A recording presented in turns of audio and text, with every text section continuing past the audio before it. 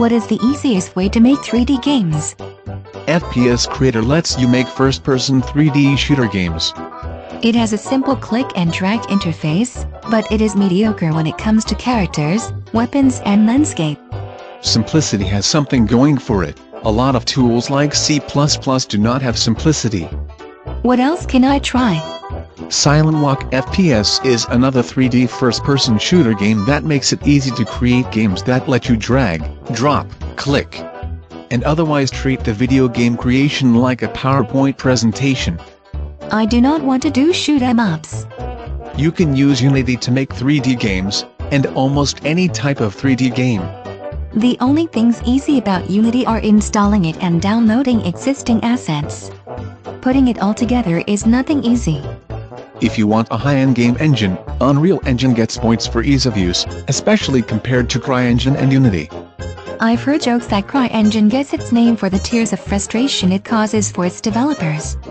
But Unreal Engine is still hard to use, both from the C++ base game engine and learning to use the tool itself. Torque 3D is easy if you want to be able to hack and modify game engine code, since it is open source and their community is open to hacking it. I do not want to make games that rely on a hack game engine.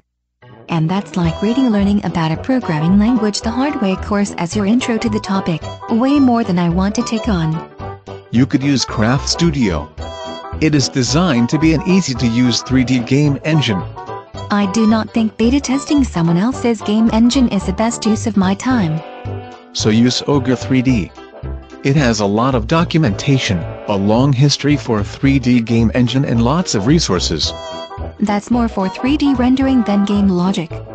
It is limited on physics, game workflows and so forth. What do you think of Cocos 3D? That's only easy if you know Objective-C and Xcode. I thought Swift was replacing Objective-C. Fine, Cocos 3D is only easy if you already know the iOS languages and tools already and own a Mac. What do you think of Godot?